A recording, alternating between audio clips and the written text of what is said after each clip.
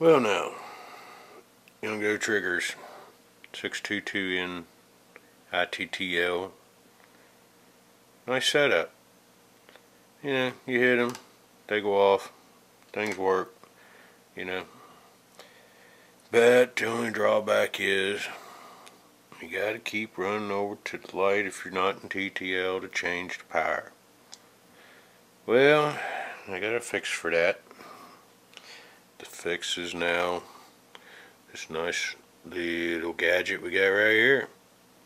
They don't focus up there, yeah, well, I can't really see it. I'm an old man, what can I say? Hey, there you go. But anyway, it works. You can send it off, obviously I just did a test. But you can send it off, sit there and do different things. I can sit here, I'm in group A right now, that big light that keeps going off, I can turn it off when I test. Look at that. Just the one going off. I can change it around. I can sit here and turn that one back on. Come down here, hit these, turn them off, hit test again. Now you can see the other one's flashing. I want them both on. Then I can just simply do it again. Now they're both on. They're both flashing. And TTL. TTL is cool. Don't always cut it. So sometimes you gotta sit here and adjust it. Well, you can do that. You can go full stop increments, you know, or you can go in a third and make your setting changes all the way down to three stop.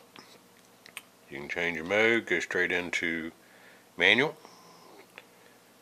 Mine runs from 128 all the way up to 1 to 1. Yep, is that true? Let's find out. Uh, turn off the wrong one here. Let's get in the right group. I'm going to go up here and turn this one off. Alright, now we'll jump back down here. Let's start off at the lowest setting possible and hit test. See, just a little baby flash.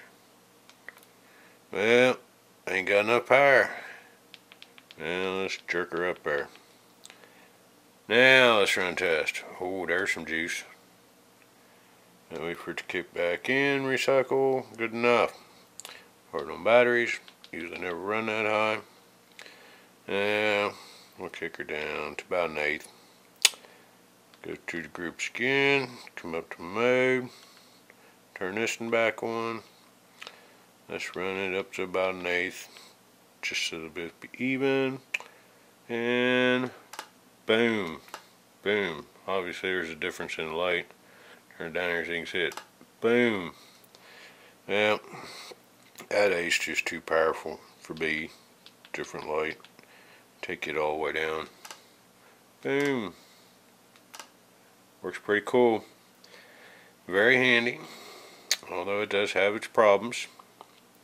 For one, it only works with the 6 22N ITTL triggers. It will not work with the old manual triggers, the 603s or the 602s. So, and it takes a TTL speed light to get the full function out of this. It will work with other lights, but it's just a manual trigger. So, and you still got to have the 622 trigger, which is an ITTL, which is twice, if not three times, cost the manual trigger, so why would you want to think about that? But anyway, the good news is I did see where they got a one of these gadgets to come out, going to come out for the 603 triggers, which would be nice. But, like I said, it will make the old ones fire, so you can keep them in groups. It will let you turn them off and on, so you know you can keep them from firing or fire if you want. But the signal goes just like a regular little trigger. Well, there you go. Special request. Not for this one, but hey, you might like this. Catch you later. Soul Hillbillies out of here.